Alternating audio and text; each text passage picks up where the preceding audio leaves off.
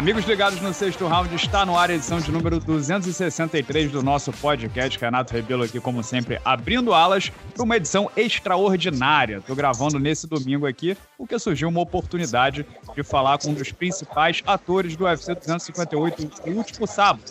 Falo do brasileiro Gilbert Burns, que fez a luta principal, é, lutou pelo cinturão dos meio médios contra o campeão Camaro Último, que acabou perdendo no terceiro round.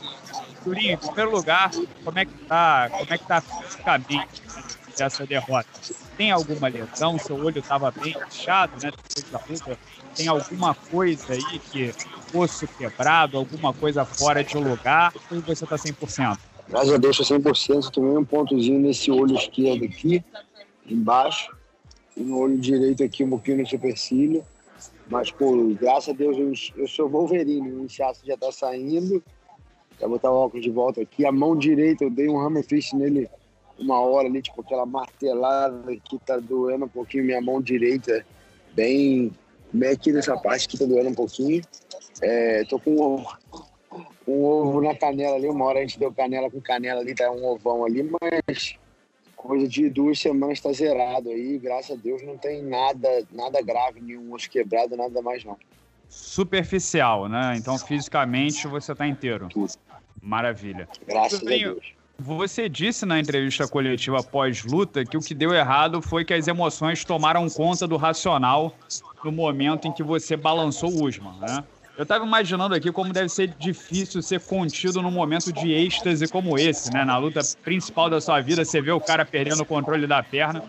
O que deveria ter sido feito diferente naquele momento, se você pudesse voltar atrás? Ah, eu teria que manter o jogo ali, eu teria que continuar cercando, e, e não ir com tudo. Eu acho que tinha muita emoção envolvida ali na luta. Eu conheço o Camaro, a gente, meu irmão, um clima, um clima bem, bem quente, assim, sabe, de competição.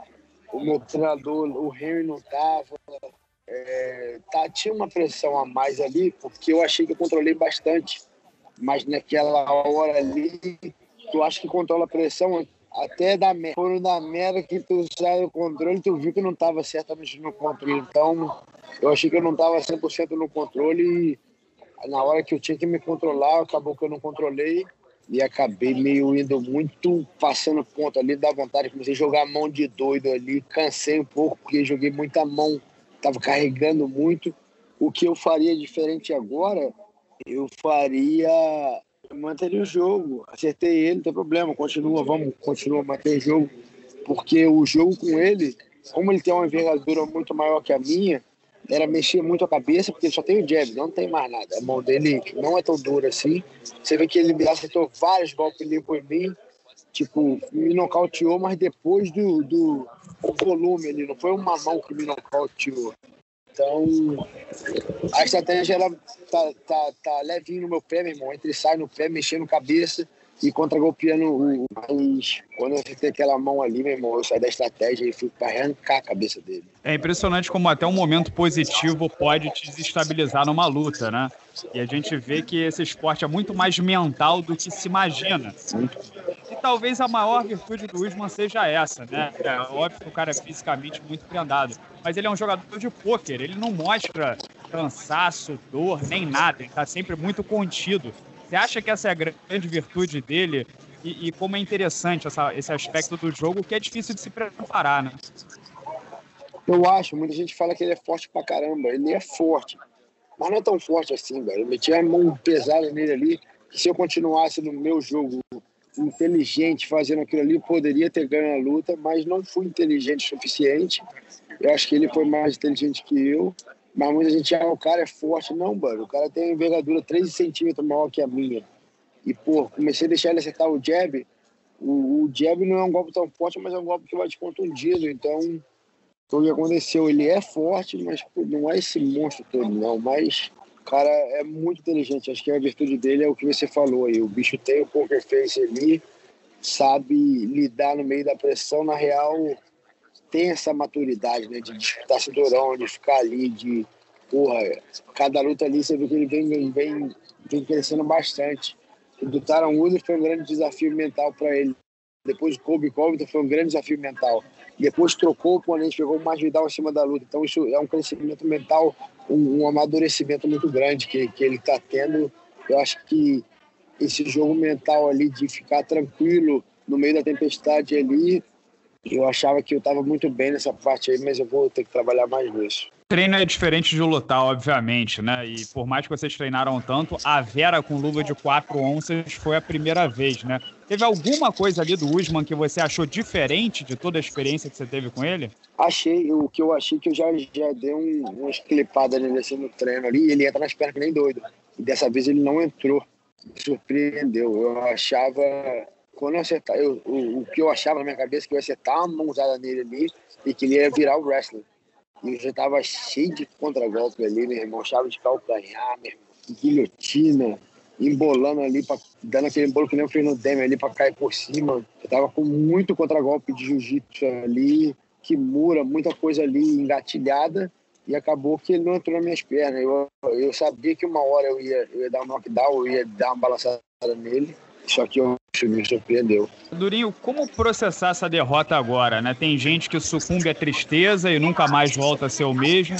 Tem gente que volta mais forte ainda. Eu sempre lembro do caso do Jorge St-Pierre, né? depois de perder para o Matt Hughes. Você chorou bastante, deixou sua energia ali dentro do octógono, mas você está falando comigo agora já é um sinal de querer encarar é. e passar para frente. Como você pretende encarar isso? É passar esse luto o mais rápido possível? Já passou. Tem um, um, um, ditado, né? que está até na Bíblia, que fala muito isso. O choro pode durar uma noite, mas a alegria vem pela manhã. E foi, geralmente, foi o que aconteceu. Eu fiquei triste a noite toda. Fiquei, chorei bastante. Falei com o jacaré, passou lá no quarto para me dar um abraço. Conversei, soltei tudo que eu queria soltar com o Daniel, com o Vicente. Foram os dois que ficaram lá no quarto comigo. É, hoje de manhã falei muito com o Vitor Belfort, me ligou, meu irmão, desabafei muito com ele. Falei com minha esposa ontem, falei com ela hoje, falei com as crianças. Falei com o meu irmão mais velho, que é um maluco que sabe muito. Ele falou a mesma coisa. Ele falou, meu irmão, que ele é da Grumec aí no Brasil. Ele fala, meu irmão, quando a gente vai pra missão e, putz, a gente não tá equilibrado, a gente tá tranquilo, quando dá merda, a gente não, não consegue tomar a decisão correta. Mas quando a gente tá bem equilibrado, estudou bem a missão, e quando a gente vai fazer a missão, mas a gente está muito tranquilo, a gente estudou todas as possibilidades de dar uma merda, a gente sabe sabe o que tem que fazer. Ele falou, e quando não foi que deu merda, mas foi quando você fez uma coisa boa, você não conseguiu aproveitar, então você vai ter que estudar isso tudo. Por que, que você não estava 100%? Por que você não estava tranquilo? Por que você queria acabar tanto com a luta assim? Aí é onde eu reflito agora. Por que eu queria acabar tanto com a luta assim? E não ficar triste. Na verdade, já mandei mensagem pro Dana White já eu tô sem suspensão, que eles fizeram todos os exames, eu tô sem nada. É, não foi só um golpe que eu caí, foram uma sequência de golpes, então não sei quão, quão grave é isso. Eu vou ter que eu vou no médico essa semana, semana que vem, vou dar um tirar umas férias com a minha família, mas acabou a tristeza já. Pé no chão agora, não tem desculpa. O errado fui eu, eu que eu que vacilei ali, perdi a oportunidade da minha vida, mas não acabou o mundo não, pelo contrário, agora eu vou voltar o mais rápido possível. Quero só tirar os pontos aqui. Lógico que eu vou no médico ver se, se a cabeça está boa, está tudo tranquilo. E vamos voltar o mais rápido possível. Já mandei mensagem pro Dana. Dana, não sei ainda, vou no médico de semana, mas final de abril, começo de maio, eu quero estar tá lutando. Me dá qualquer um, me dá um Michael que esse, me dá qualquer um que eu quero fazer, que nem você falou, que nem quando o Saint-Pierre fez, um cara que está muito claro na minha cabeça foi o Rob Lawler, quando ele perdeu pro Johnny Hendricks e depois, se eu não me engano, ele fez uma, uma ou duas lutas rapidinho. E no mesmo ano ele lutou contra o Johnny Hendricks foi campeão. E, putz, é, é, o que eu quero fazer agora. Eu sei que dá para ganhar do Camaro. Faltou, como você falou, faltou detalhe, faltou inteligência, faltou um pouquinho de, de frieza na estratégia. Mas dá para ganhar, meu irmão. Não é. Dá para ganhar, meu irmão. Então, dá, é aquele cinturão tava tão perto assim, a tristeza foi essa. O cinturão tava tão perto, escorreu, mas ele tava tão perto que eu sei que dá para buscar. Eu só estou vendo de maneira positiva agora, vou descansar, vou recuperar. Estou devendo umas férias para minha família aí, então vai ser umas duas, três semaninhas aí com a família, meu irmão. Estou devendo isso para minha esposa, para meus filhos. A gente se abdica muito um do outro por causa da luta. Eu, putz, não levo as crianças para a escola para dormir um pouquinho mais. É, putz, às vezes tem que descansar. Agora eu vou ficar com meus filhos essas duas, três semanas aí, levar os moleques pra escola todo dia, brincar com os moleques o máximo que eu puder. Ver se a gente pega um finalzinho de semana aí, algum hotel, alguma coisa, descanso, fico com a esposa, dou moral para ela. Mas daqui a umas três semanas eu tô de volta com treinando com tudo. Que eu sei que dá para ganhar mesmo. Eu sei que dá para ser campeão. Sempre acreditei, mas agora eu vi que dá. Então, porra, Agora só começou, meu irmão. Agora eu vou trabalhar mais duro ainda. Maravilha. A a próxima luta, você falou que ia voltar logo em abril, né? É, tá se desenhando aí o Usman versus Masvidal no reality show, né? The Ultimate Fighter. Kobe Covington versus Leon Edwards, pelo menos o Dana White disse que vai tentar casar.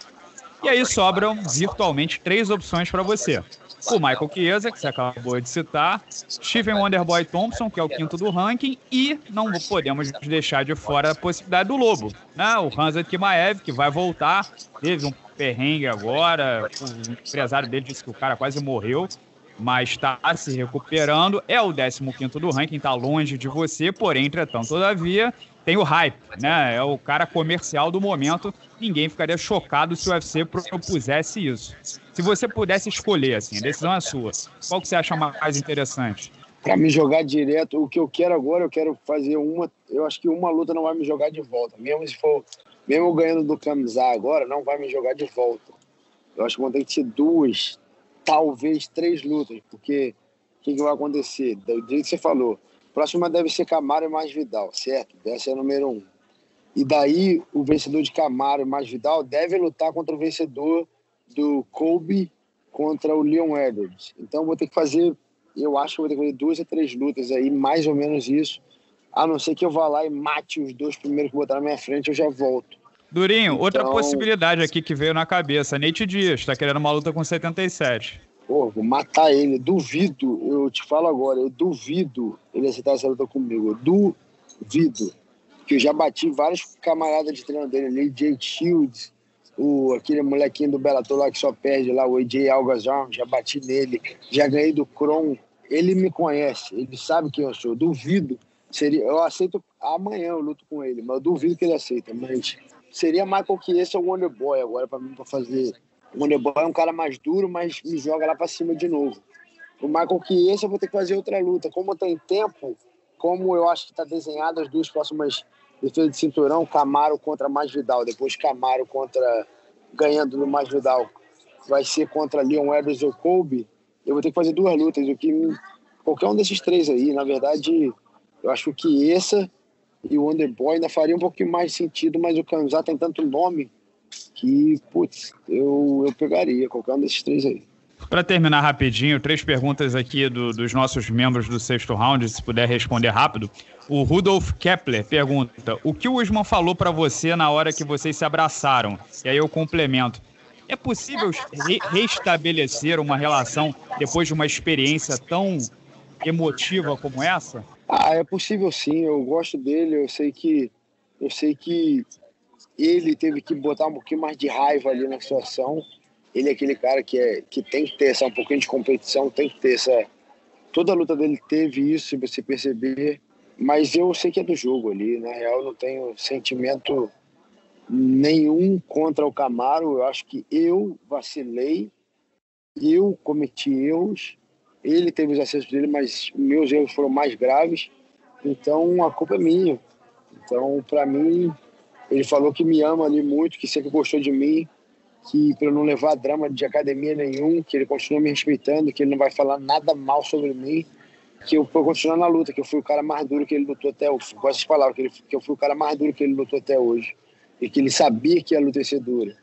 Então, eu tenho total respeito por esse cara. É, é, eu, eu já falei isso, parece clichê, mas todo cara que, que entra no octagon e luta, eu tenho respeito. Tem essa. Pode ser o Kobe, fala um monte de merda, mas o cara entra lá e sai na mão, dá o máximo dele.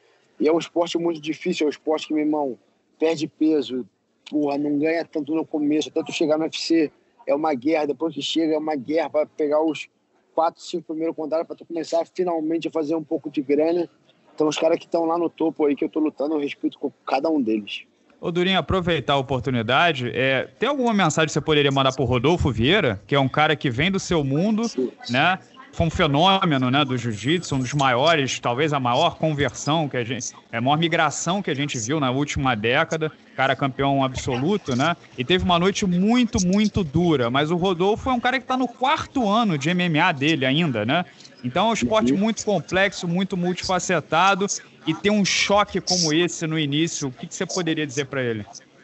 Eu acho que foi, foi uma, uma derrota bem difícil ali, bem frustrante para ele mas eu acho que nada acontece só na luta, sabe? Tipo, não, ah, só deu errado aqui, não, já tem muita coisa dando errado. Então, eu acho que ele tem que sim fazer uma análise na carreira dele, no treinamento dele.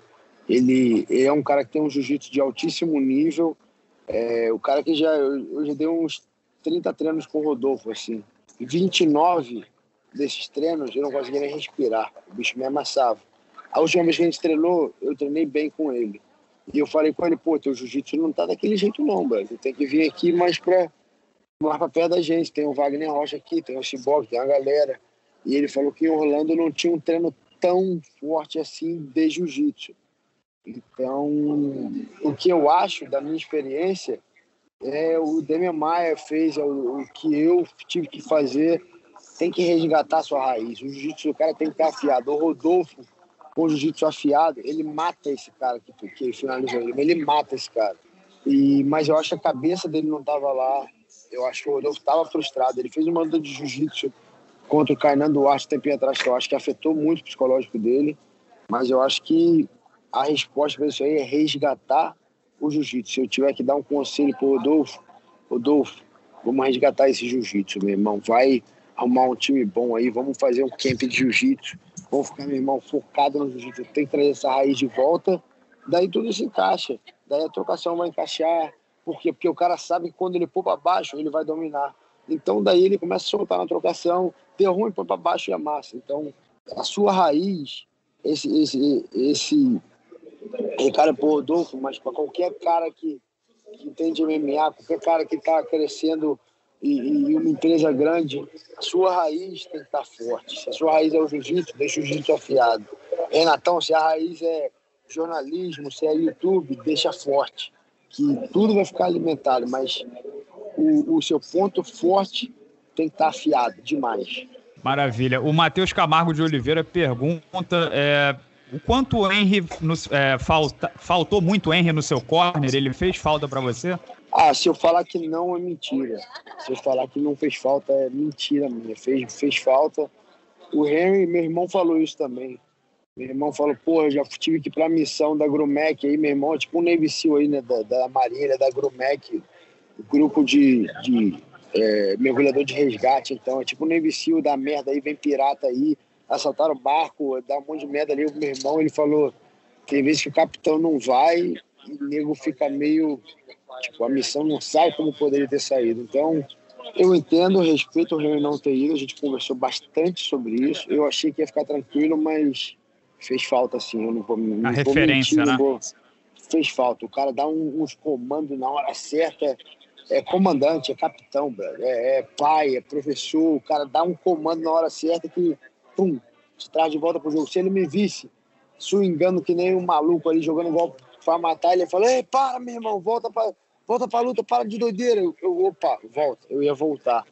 Outra pessoa falando não fez o efeito que, que o Henry faria. Não sei se eu tô sendo claro, mas Claríssimo. O, a gente vê como é que a carreira do Mike Tyson foi depois da morte do Sal de Amato, né? Você tem o seu norte, a referência, muito importante. Para terminar, Durinho, o Pedro Campelo pergunta: você acha que os fãs estão mais compreensivos em derrotas importantes de lutadores brasileiros, né? Porque a gente sabe que as redes sociais podem ser muito cruéis em momentos delicados como esse. E é claro que vai da sua postura de você filtrar o que vem até você, de você se deixar abalar ou não. Mas mesmo assim, há muita gente criticando ao mesmo tempo, né? Ah, então, eu, eu não me ligo muito nisso, não. Eu me ligo na crítica que me importa. Se, porra, se meu irmão falou pra mim, meu irmão, lutou mal pra caralho, é, isso aí ia ficar, eu ia ficar mal. Mas eu entender. Mas, pô, as pessoas que gostam de mim entenderam. Falam, porra, você tentou, você lutou pra caralho.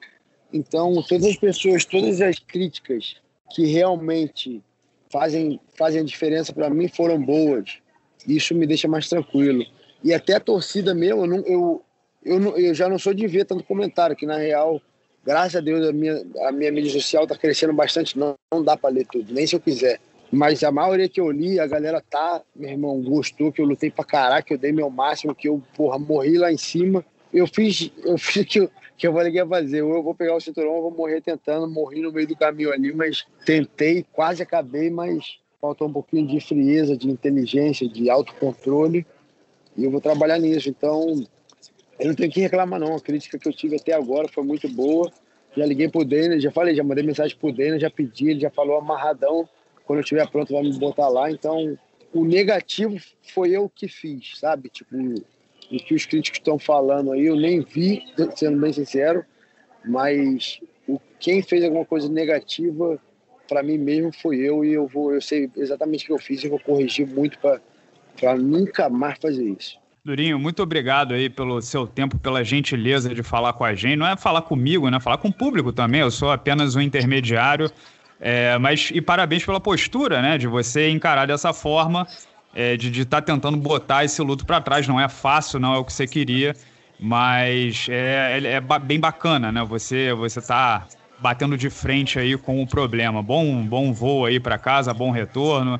Curta aí essas semanas com a família e já já você tá de volta. Valeu, Renatão. Obrigado, irmão. Valeu, galera do, do sexto round aí, meu irmão.